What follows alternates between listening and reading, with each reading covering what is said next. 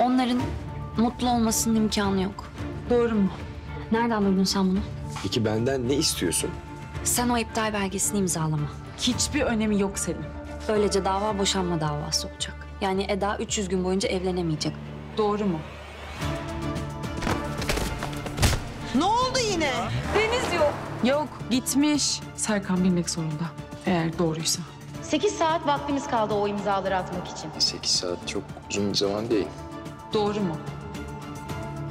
Hamile misin?